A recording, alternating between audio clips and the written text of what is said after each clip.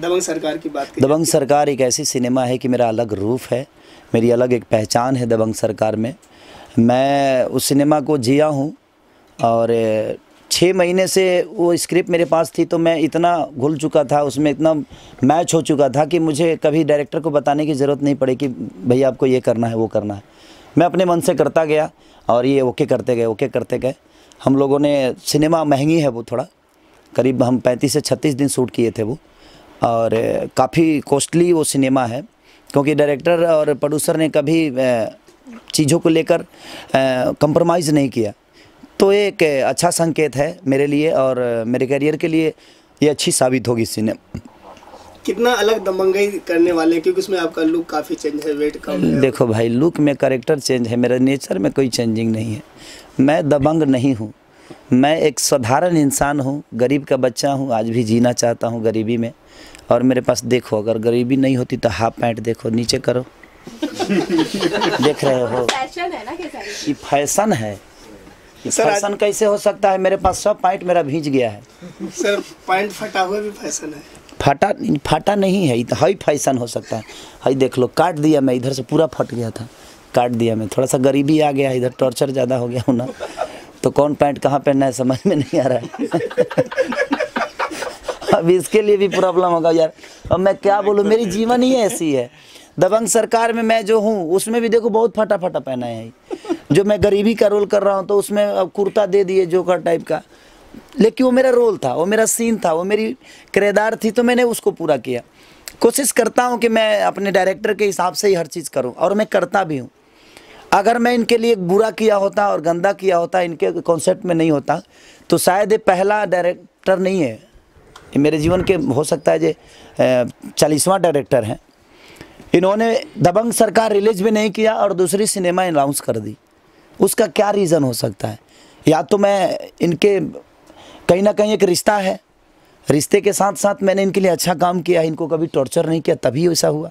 नहीं तो कट्टू ये दूसरे कहीं ना कहीं मेरे बहुत सारे भाई लोग हैं जो एक्टर हैं सबके पास जाते ही है और सबके पास लेकिन ये आए और डायरेक्ट खेसारी के पास और खेसारी के पास से कहीं गए तक नहीं। किसी को सोचा तक नहीं। तो कहीं ना कहीं इनके सोच में हूँ मैं। काम के मामले में तो मैं प्रूफ हूँ इस बात का कि बहुत ही मैं और बहुत बढ़िया काम करते हैं और काम में कोई इंटरफेयर नहीं है।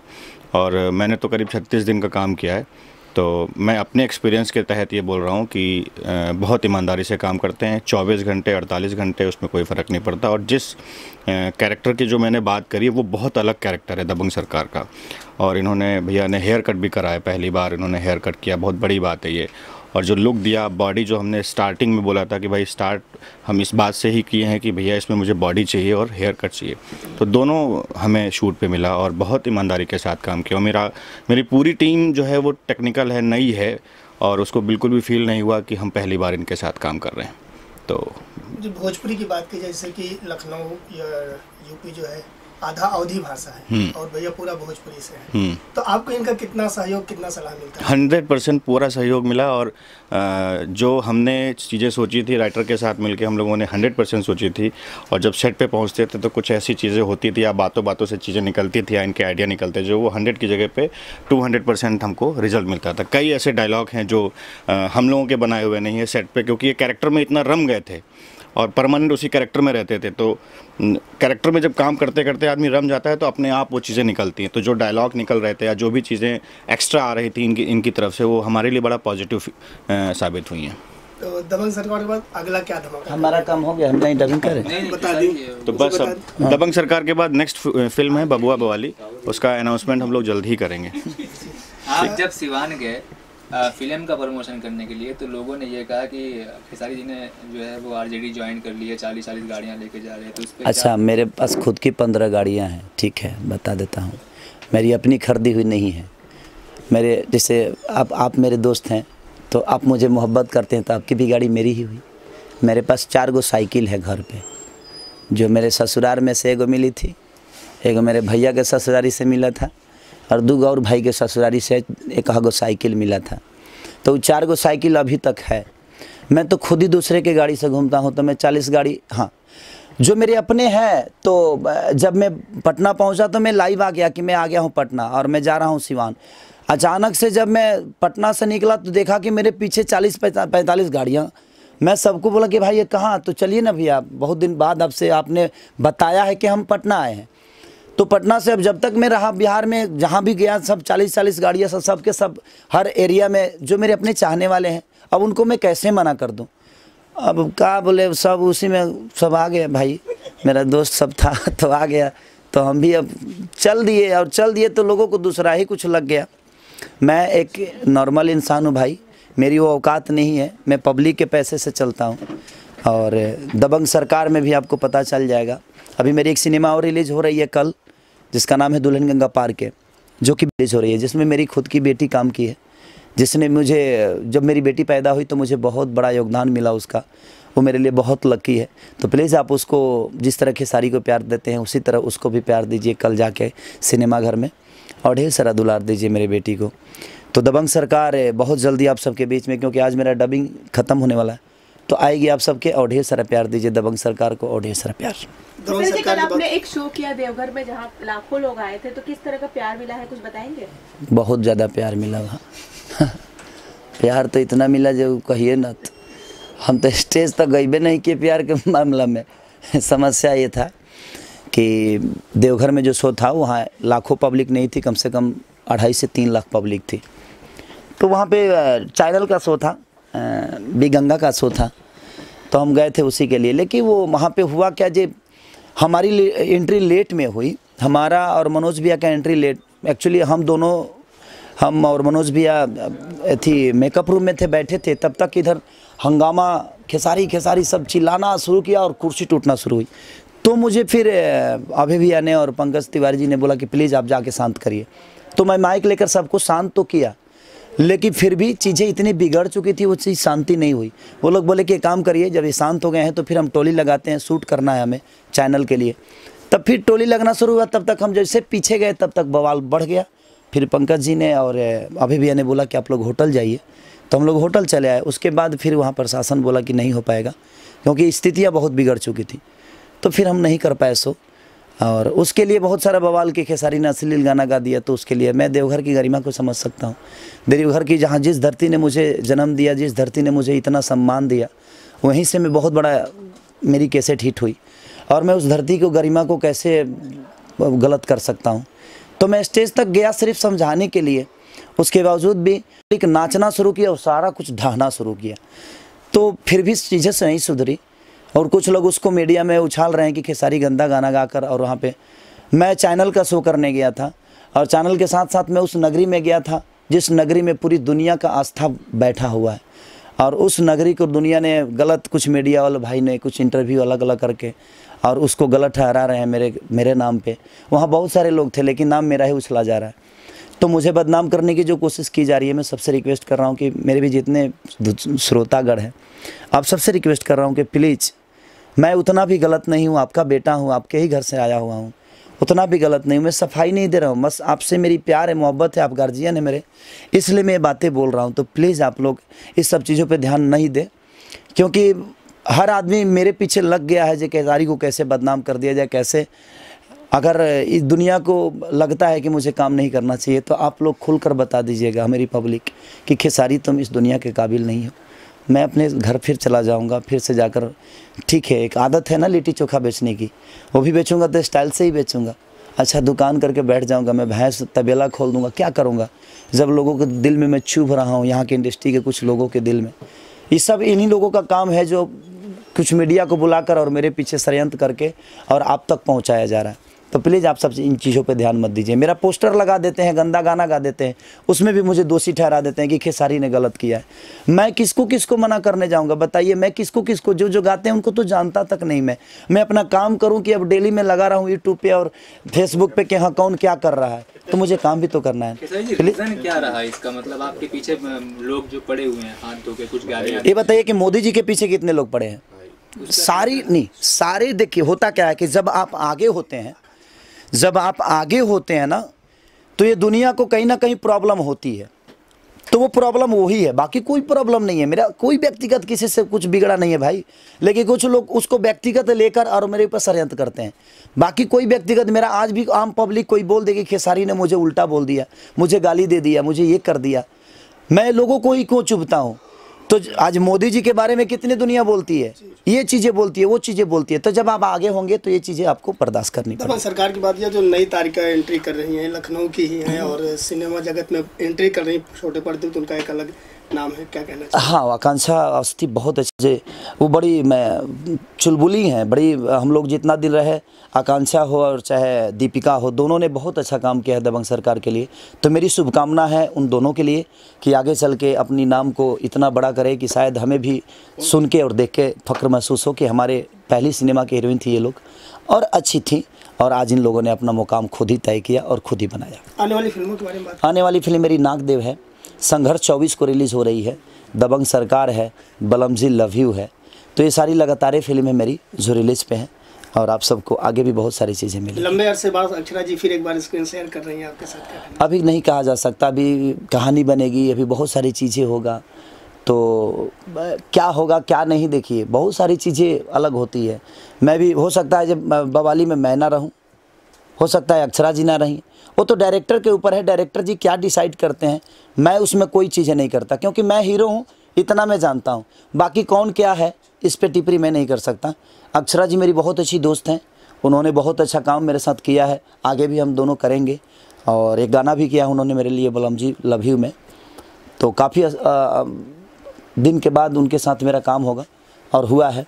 तो शायद पब्लिक को बहुत पसंद आएगा और पब्लिक अपना प्यार देगा। सावन का महीना है ढेर सारे कामना मेरी तरफ़ से बाबा धाम के लिए सारे लोगों के लिए कि आप जाइए जल चढ़ाइए और बाबा का ऐसे ही अद्भुत आशीर्वाद पाते रहिए और अपने जीवन को खुशमय करते रहिए। दुल्हन बाबा का गाना जो आपका हिट हुआ है। कि हमर सैया हो भुलाइल बड़े मेला में मोर सैया हो भुलाइल बड़े मेला में। ये गाना बहुत बड़- चल रहा है। जब मैं देवघर गया तो बहुत सारा सुनने को मिला। तो ढेर सारी शुभकामना और पंद्रह अगस्त को ढेर सारी शुभकामना आप सबको कि ऐसे ही अपने जीवन को चलाइए और खुशमय रहिए। सबको आठ दिसंबर निकल रहे हैं यहाँ से। खादी में दलूल दलूल आना। दबंग सरकार की एक अलग सिनेमा भोजपुरी सिनेमा दर्शकों को देखने को मिलेगा। क्या कहना चाहेंगे? देखिए सिनेमा बहुत अच्छा बना है। अभी मैंने डबिंग आधी की है आधी बची हुई है। और जो हमेशा कहीं ना कहीं पिछले कुछ समय से आवाज़ उठती थी, अश्लीलता वाली, जो भोजपुरी की मासूमियत और सार्थकता कहीं अपनी खो गई थी, जो हर एक क्षेत्रीय भाषा की फ़िल्मों की होती है, चाहे वो पंजाबी हो, मराठी हो, गुजराती हो, हम लोग कहीं ना कहीं ऐसा लगता था लोगों को कि हम लोग भटक गए। तो शायद कहीं ना कहीं ये एक मैं ये तो नहीं कहूँगा कि करारा जवाब है, लेकिन हाँ उस दिशा में एक हमारा कदम है, और ये मज़बूत अंगद वाला पैर है, जहाँ पे आपको एक स्वस्थ कहानी अच्छा फिल्मांकन, कलाकारों द्वारा उच्च कोटि का अभिनय, निर्देशक द्वारा उसकी जो परिकल्पना है, लेखक की लेखनी सब आपको ऐसा मिलेगा कि आप, अब आप अगर उसमें पूर्वाग्रह से ग्रसित होंगे तो कमियाँ निकाल लेंगे। हम ये नहीं कह रहे कि हमने बहुत कुछ अच्छा कर दिया है, लेकिन हाँ एक अच्छे की तरफ़ कदम बढ़ाया है, और हम ये बिल्कुल चाहेंगे अब तक जो प्यार और आशीर्वाद दिया है, उस प्यार और आशीर्वाद को बनाए रखें। सिनेमा जब रिलीज़ हो, उसको स्वस्थ मन से, स्वस्थ दिमाग से आशीर्वाद दें। एक बहुत अच्छा मनोरंजन वाला सिनेमा है, जिसको हम लोगों ने बहुत सच्ची मेहनत और लगन से किया। वैसे तो हर सिनेमा हम लोग सच्ची मेहनत और लगन से करते हैं। दर्शकों का प्रतिसाद भी मिलता है। कभी वो अच्छा होता है, कभी बुरा होता है। लेकिन वो आशीर्वाद हमारे लिए बहुत मायने रखता है। और अभी तक सिनेमा के जितने भी टीज़र आए हैं, उन सारे टीज़रों और झलक को लोगों ने बहुत सराहा है, बहुत प्यार दिया है। तो उम्मीद तो है कि दबंग सरकार कुछ ना कुछ जैसे हिंदी में दबंग ने और सरकार आई थी बच्चन साहब की। तो ये तो दो है। तो डबल डोज है। मनोरंजन का ये कह सकता हूँ कि डबल डोज है। केसारी जी ने बहुत अच्छा काम किया है। आकांक्षा जी, दीपिका जी जो दो नई हीरोइनें हमारी फ़िल्म से लॉन्च हो रही हैं, उनका भी स्वागत है। योगेश मिश्रा जी जो इस फ़िल्म से डेब्यू कर रहे हैं एज ए डायरेक्टर उनका भी स्वागत है और उनकी एक नई सोच है। मनोज भैया जिन्होंने लिखी है पुराने हैं लेकिन कुछ तो उन्होंने भी ऐसा किया है कि इस बार वो भी नए रूप में आ रहे हैं। और आपने क्या किया है दबंग सरकार में? मैंने क्या किया है मैं ये तो नहीं बताऊँगा लेकिन हाँ कुछ ना कुछ एक ऐसा है जो अभी तक अभी तक नहीं किया था। मतलब संजय भैया ने भी कुछ ऐसा किया है जो शायद हर कलाकार अपने अंदर कुछ नया खोजता है तो तकरीबन केसारी जी से लेके इस फ़िल्म का जो भी एक कलाकार है सबने कुछ ना कुछ अपने अंदर नया खोजा है। और उस खोजने में लेखक की लेखनी रही है तो निर्देशक की निर्देशन रहा है कि हमको नया रास्ता बताया है हमको कुछ अच्छी लाइनें मिली हैं जो शायद आगे जाके हम कहीं जाएँगे तो हमारे लिए भी वो एक आइडियल हो जाएँगे और हमसे कहा जाएगा वो डायलॉग बोल के सुनाइए। Okay sir. धन्यवाद। जी तो हम आप पत्रकार भाइयों का बहुत बहुत धन्यवाद कहते हैं क्योंकि आज जो हमारी सोच है, उसको अगर आप सब लोग आगे बढ़ा रहे हैं और उसको जो भी पब्लिसिटी मिल रही है या लोगों तक पहुँच रहा है, उसमें आप सब लोगों का बहुत बहुत सहयोग है तो मैं आप सब लोगों को दिल से धन्यवाद कहता हूँ। और रही बात दबंग सरकार की तो डबिंग हमारी कंप्लीट हो चुकी है और मुझे लगता है अगस्त में इसका ट्रेलर आ जाएगा और सितंबर में कोशिश करेंगे इसको रिलीज़ करने की। जी। तो इसमें कुछ क्या नया एक्सपेरिमेंट आपने किया? जैसे दो हीरोइन नए हैं तो लखनऊ की वादियों में शूटिंग हुआ लखनऊ की खूबसूरती को आपने दिखाया है। तो क्या क्या चीज़ें इसमें दर्शकों को नया देख रहे हैं? इसमें स्टोरी से लेके एक्शन से लेके और जो एक कैरेक्टराइजेशन होता है एक्टर्स का वो सारी चीज़ें नई हैं और एक प्रैक्टिकल किया गया, एक सधा हुआ प्रैक्टिकल किया गया। ऐसा भी प्रैक्टिकल नहीं है कि ज़बरदस्ती का कोई प्रैक्टिकल किया गया है। और एक रिसर्च के बाद करीब मेरी एक साल की मेहनत है, हमारी और मनोज जी की मेहनत है, ये जो अब आप सब लोगों के सामने आने वाली है। तो एक प्रैक्टिकल किया गया, सधा हुआ प्रैक्टिकल किया गया और मेरे ख्याल से जो हम सब लोगों की डेढ़ साल की ये मेहनत है और वो सारी की सारी आप सब लोगों के सामने जल्दी आने वाली है और अच्छा रिज़ल्ट आप सब लोगों को मिलेगा। और मेरी आप सब लोगों से गुजारिश है कि आप लोग अच्छी चीज़ देखने की अ, कोशिश करिए कि हमें अच्छी चीज़ देखना है। तो जब आपकी डिमांड बढ़ेगी तो हम सब लोगों का प्रोडक्शन शुरू होगा। अगर आप लोगों की डिमांड नहीं होगी तो हम सब लोग उस प्रोडक्ट को नहीं बनाएँगे। तो आप सब लोगों से मैं हाथ जोड़ के ये अपील करता हूँ कि आप सब लोग अच्छा देखने की डिमांड करना शुरू करें कि मुझे अच्छा देखना है ख़राब देखना ही नहीं। तो जब ख़राब नहीं देखेंगे तो ख़राब चीज़ें अश्लील नहीं देखेंगे तो उसकी व्यूवरशिप कम होंगे प्रोडक्शन कम हो जाएगा। वरना हम सब लोग तो दुकानदार हैं सारे प्रोडक्ट रखते हैं आपको जैसा जिसकी डिमांड बढ़ेगी वही एक मैनेजमेंट में सिखाया गया था कि प्रोडक्शन वैल्यू तब बढ़ती है जब डिमांड बढ़ती है। तो आप सब लोग अच्छी चीज़ों की डिमांड बढ़ाइए और हमारे जैसे सारे जितने भी यंग लोग हैं सारे लोग हैं बुज़ुर्ग लोग हैं एक्सपीरियंस होल्डर लोग हैं वो आपके सामने अच्छा प्रोडक्ट लेके आएँगे। फ़िल्म कब तक रिलीज़ होगी फ़िल्म सितंबर में पैन इंडिया में रिलीज़ होगी। और मैं एक बात और कहना चाहता हूँ, यहाँ पे लेखक और निर्देशक दोनों हैं। आप लोगों के माध्यम से, दर्शकों से अपील करता हूँ कि फ़िल्म को बहुत सफल बना दिए, ताकि दबंग सरकार टू 2019 में होली तक हम आपको दिखा दें। तो मवाली भी लेके आ रहे हैं। बब्बा वाली फ़िल्म हमारी आ रही है जल्द ही आप सब लोगों के सामने आएगी जल्दी हम लोग उसकी शूट करेंगे। हीरोज में खेसारी जी हैं अभी हीरोइन का कुछ अ, हम लोग डिस्कशन चल रहा है और कुछ एक नाम आए हैं आप सब लोगों को पता भी है। और उसके प्रोड्यूसर हैं अमित श्रीवास्तव जी और विवेक जी। और मैं ही उसको डायरेक्ट कर रहा हूँ और मुझे बहुत अच्छा लग रहा है। स्टोरी राइटर बबुआ वाली के मनोज जी ही हैं।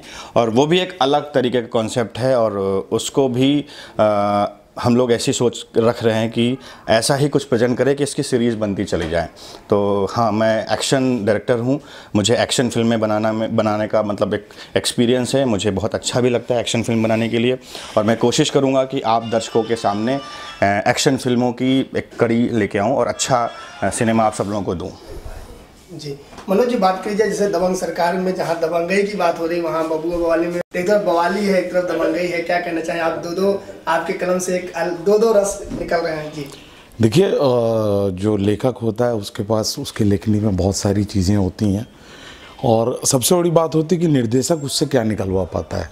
तो जो दबंग सरकार की हम बात कर रहे हैं तो इस बात में कोई शक नहीं है कि दबंग सरकार हमारे भोजपुरी दर्शकों के लिए एक नया साकार होगा। वो साकार जो हमारे निर्देशक योगेश मिश्रा जी ने एक सोचा है उनकी जो सोच है बहुत अच्छी सोच है बहुत अच्छी कहानी है। उनके साथ काम करके मुझे बहुत कुछ सीखने को मिला। उसमें और भी जो हमारे अ, कलाकार लोग थे खेसारी जी खेसारी जी ने बहुत ही दमदार अभिनय किया है। और चाहे विलेन की बात करें उसमें संजय भाई हैं समर्थ भाई हैं इन लोगों ने बहुत अच्छा अभिनय किया अनूप जी हैं। और हमारी जो दो हीरोइनें नई आ रही हैं आकांक्षा जी और दीपिका जी। तो कुल मिलाकर ये फ़िल्म हम लोगों ने एक परफेक्ट मसाला फ़िल्म बनाई है जिसमें आपको एक्शन मिलेगा इमोशन मिलेगा कॉमेडी मिलेगी सब कुछ मिलेगा। अ, बात की जाए फ़िल्म के डायरेक्टर साहब उनकी पहली भोजपुरी फ़िल्म है और कह सकते हैं कि वो भोजपुरी से थोड़ा सा अवधि है तो अवधि भोजपुरी में से लेकिन पूरी तरह भोजपुरी ऐसे में भोजपुरी को डायरेक्ट करना भोजपुरी लैंग्वेज के साथ न्याय करना कितना कठिन था उनके लिए और कितना सहयोग रहा आपका उनके लिए? अ, देखिए मैं आपको एक चीज़ बताता हूँ कि फ़िल्में जो बनती हैं और जैसे कहा जाता है कि पूरे वर्ल्ड सिनेमा में नौ ही नौ जॉनर होते हैं यानी नौ रस होते हैं और इन सबको मिलाकर एक दसवा रस बनता है। तब जाके जिसको कहा जाता है मसाला एंटरटेनमेंट। उस, ही, उस पॉइंट ऑफ़ व्यू से मैं एक चीज़ कहूँगा कि हमारे जो डायरेक्टर योगेश मिश्रा हैं, वो भी कंप्लीटली मसाला है। वो एक अच्छे एडिटर हैं, वो एक अच्छे कलरिस्ट हैं, वो एक अच्छे एक्टर हैं, वो उन्होंने थिएटर भी किया है। तो उनका जो भी उन सारी चीज़ों का अनुभव रहा है, उनका सारा समावेश उन्होंने इस फ़िल्म में दिया है। इस फ़िल्म की स्क्रिप्ट की बात करें तो इस स्क्रिप्ट में हम लोगों ने सालों साल मेहनत की है और उन्होंने मुझसे वो चीज़ें निकलवाई हैं जो उनके जहन में थी। तो कुल मिलाकर हम लोगों की ये एक मेहनत है और बड़ी ही खूबसूरत मेहनत है, जिसमें आप लोगों का सहयोग है। आप लोगों ने इस फ़िल्म को इतना प्यार दिया है, इतना सम्मान दिया है और जब आप लोगों ने दिया है तो हमारे दर्शक लोग देंगे ही। और भोजपुरी में एक ये अच्छा आगाज़ होगा, एक अच्छी शुरुआत होगी, एक अच्छी फ़िल्म की।